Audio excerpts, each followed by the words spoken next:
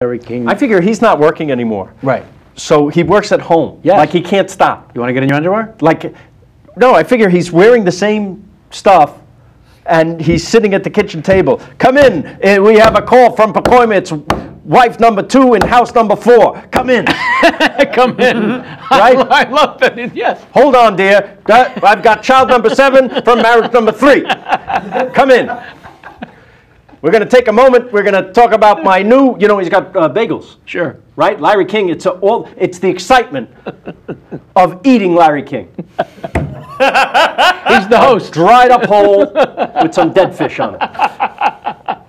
Oh, that's Sounds like his first wife. Yes. Thank you. Good night. Thank night. you very much. Oh my God. No, you didn't. You He did put not. it up on the goddamn tee for me, Kevin. Um, that's beautiful. I love Larry King. Thank you.